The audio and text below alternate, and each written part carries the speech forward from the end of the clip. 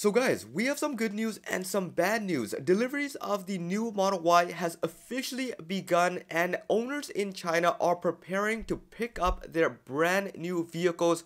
However, some of these vehicles are not exactly as what we had hoped for, some of them missing major components that will play a big role in the overall ownership experience. Jumping straight into it, Tesla has long used LTE 4G modems in its vehicles, including the latest Model Y, the Cybertruck, and the refresh Model 3.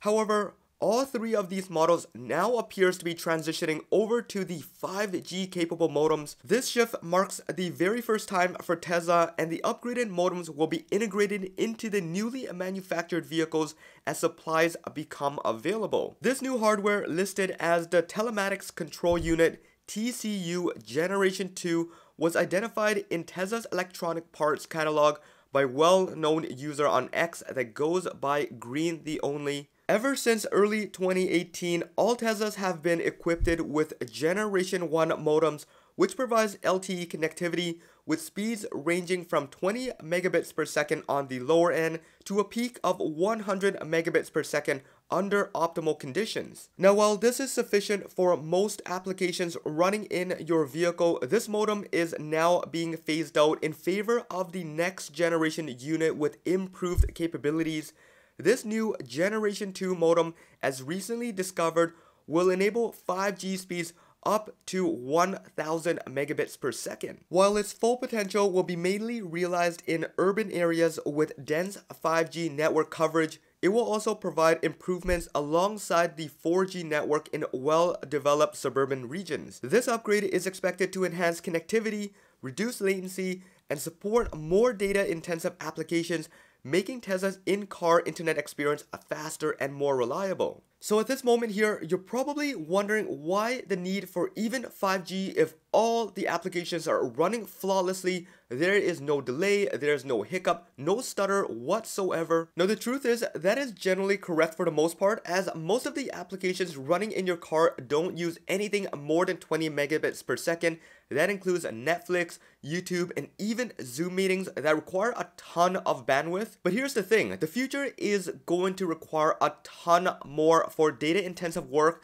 That means vehicle to vehicle communication, Grok integration, and everything else required for autonomy. On top of that, it's going to be all your background apps such as the ones we've mentioned. All of this combined is going to surpass that 100 megabit per second threshold that the LTE modem currently on older vehicles can support. Added to all of that, where you're gonna see the most benefits going from a 4G to a 5G modem is when you're in highly congested areas. This could be a football field, a shopping mall, or anywhere where there is a cluster of people. All of this is going to be extremely critical once every vehicle becomes autonomous. It will need to communicate from vehicle to vehicle, vehicle to infrastructure to communicate with the roads and the surroundings. All of this is going to surpass even the bandwidth that's available on 5G networks today. Now going back to the main topic, during a brief transitional period when Tesla updated its production line, the company installed some older components while awaiting for the full ramp up of its updated version. This approach allowed the production line to continue uninterrupted as new parts become available. This meant that early batches of the new Model Y may come with either a Gen 1 or Gen 2 TCU meaning buyers won't know which modem they're getting until after they've received the vehicle. Green the Only later was able to confirm on X that both the LTE equipped Gen 1 modems and the new 5G capable Gen 2 modems are valid configurations for the new Model Y, suggesting that Tesla is implementing the upgrade gradually as supply allows it. While Tesla now sells this part directly to customers, the EPC or electric parts catalog doesn't list a price for either the LTE or the 5G version. This is because they require programming by a service tech and must be linked to the vehicle's VIN. Now although the hardware swap is relatively easy for owners to do themselves, it cannot be fully completed without the necessary tools and the SIM card specifically coded to the vehicle.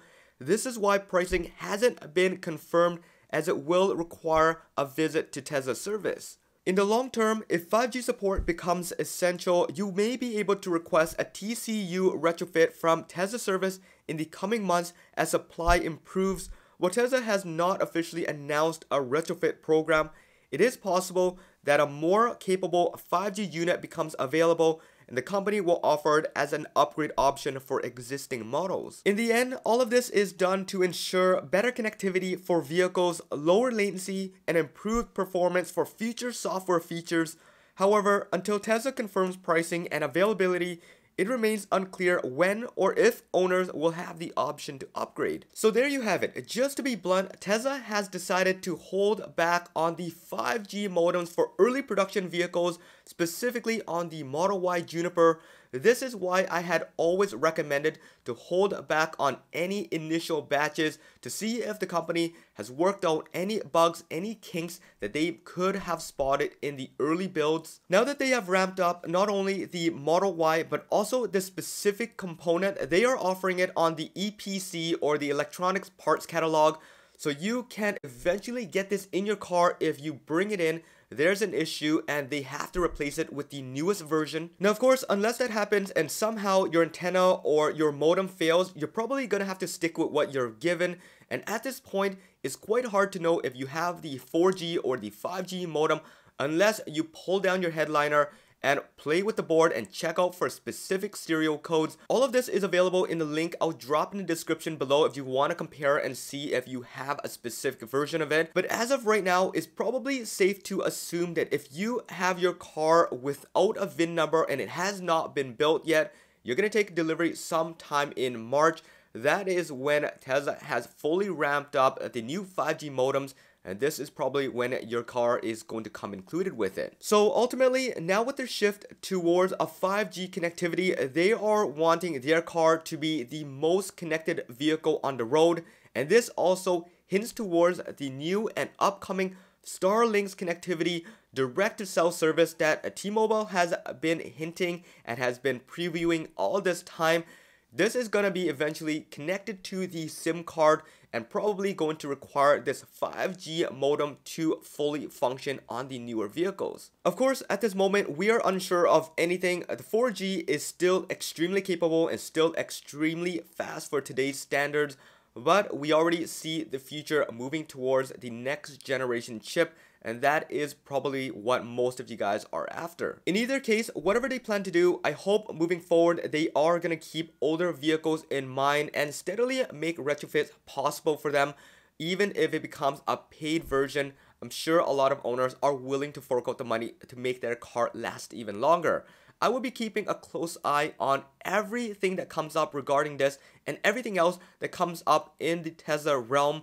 So I would love it if you guys stick around hit that subscribe button and that bell notification if you haven't done so already and follow me on Twitter or X at heyJohnEe. You're gonna see things over there you're not gonna see here, and you guys can chat with me anytime, and I will respond as quickly as possible. This should be it for this one. I hope you guys enjoyed it. This is John once again. Peace out.